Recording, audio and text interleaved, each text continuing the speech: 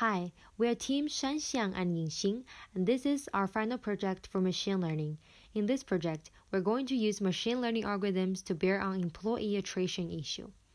This is the agenda of this video, and we will start with introduction first.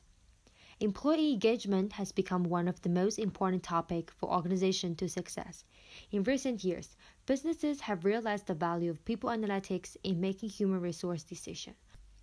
For example, Rework is an HR analytics platform started by Google to help share and put forward the practice and research of data-driven human resource.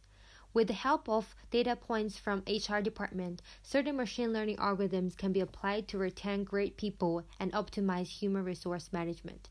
Therefore, we would like to look at one important part of people analytics, which is attrition prediction in this project.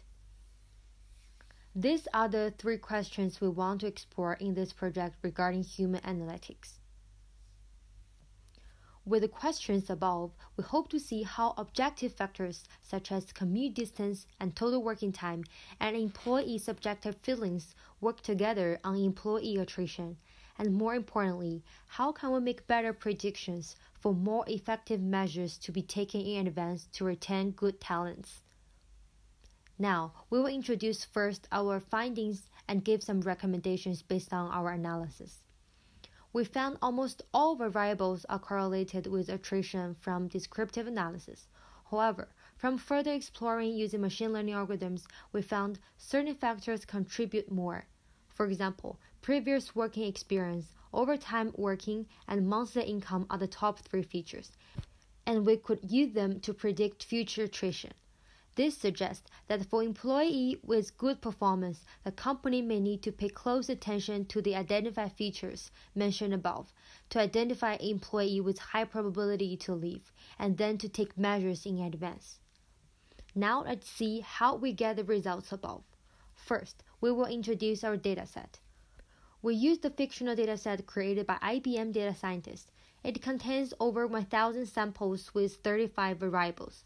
Among all of them, we have five binary variables which we are going to use attrition as our dependent variable, in other words, the label of our dataset. Besides, we also have 23 numeric variables and 6 vector variables. And since it is a fictional dataset, we do not have any missing values, which is easy for our future analysis. Before applying any machine learning algorithms, we will first give some descriptive analysis to give you an overview.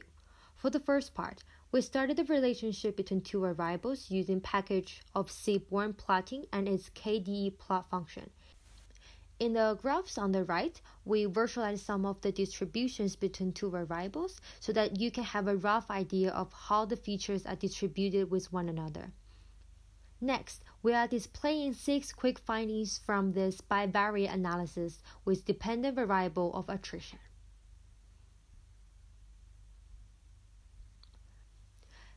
Besides the above findings, we also have other insights regarding the employees who leave the companies, and all those differences are proved to be significant.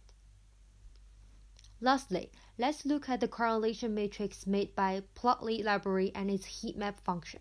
From the correlation plots, we can see that most of the columns are poorly correlated with one another. This is good when making a predictive model since we do not need to deal with redundant features. In the case that we have a lot of correlated features, one could perhaps apply PCA to reduce the feature space. However, in our case, we may not need to do PCA. Getting more familiar with our dataset, we found all independent variables are significantly associated with attrition. So we start to train our models for the prediction of attrition and attempt to find most contributed factors. In the following sections, we will present a few classification algorithms. Here is the outline for the models we are using. They are logistic regression, support vector machine, random forest, and decision tree. Then we will compare these four algorithms regarding their out of sample testing accuracy and runtime complexity. Before training the models, we split our data into training and testing set and factorize some factor variables. First model we train is logistic regression model. We use all variables in the dataset and the maximum likelihood estimation which is shown on the right is applied for the training process. The out of sample accuracy is 89.9% and is relatively high. However, we could not tell top important features in this case. Then we apply support vector machine to train the model. We were using kernel method. The out of sample accuracy rate is 88% and the cross validation rate is around 83%.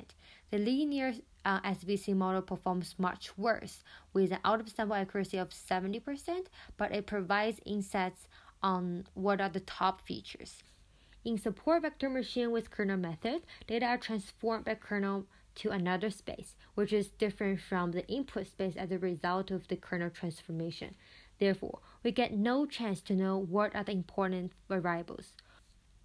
Then, linear support vector classification is added to show weight of each coefficient. It is insignificant in predicting performance, but it provides insights on what are the top features. From the package documentation, weights assigned to the features is only available in case of linear kernel.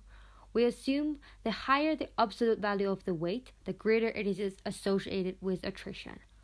Here, we drew the plot of most four um, positive and negative associated features. From the plot, we could see workers keep changing companies, live far distance from home, keep overtime working, and haven't been promoted for a long time are more likely to leave.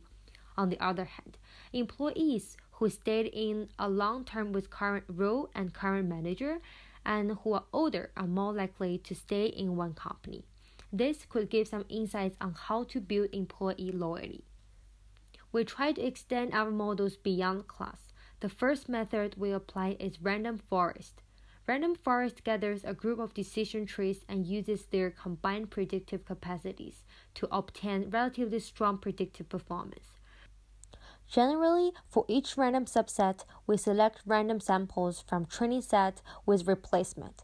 Build a classification tree on each random sample. Each tree can split on only a random subset from the variables. This model could effectively reduce variance of predictive values. In the random forest classifier, all the variables are selected and the predicting accuracy is 87%. Random forest model is less interpretable but we get the chance to know features with most importance. And the five most important variables are monthly income, age, overtime working, total working hours, and daily rate.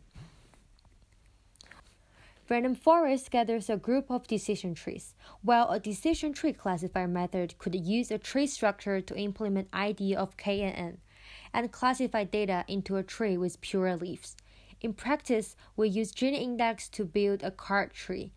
All the variables are selected and cross validation is applied. We choose to have maximum depths of 4 to avoid overfitting, and the cross validation performance is around 83%. Here, we visualize the tree and could tell what kind of combinations of parameters have associations with whether people would quit their job um, let's look closer at the top two layers.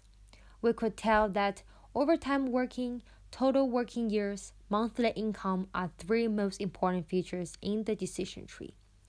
After finishing all the machine learning algorithms, we compare accuracy and runtime complexity, and we could tell that logistic regression performs best in both accuracy and running time. However, we should notice that our dataset is fictional and relatively simple, runtime complexity might be different when more complex real-time data is applied. Last, we will introduce the limitations and future extensions of this project. Now, all the features are applied without adjustment. However, in the future, we can redo the models, selecting only significant features. Another limitation is since we have a small and fictional sample dataset, uh, we can only have less generalizable results. For the future study, more real life data samples should be collected. The third one is um, we only have limited dimensions and only structure features are provided. Um, for features, um, perhaps we can explore new dimensions, for example, texture evaluation for a more complete analysis. Thank you, and this is our final project.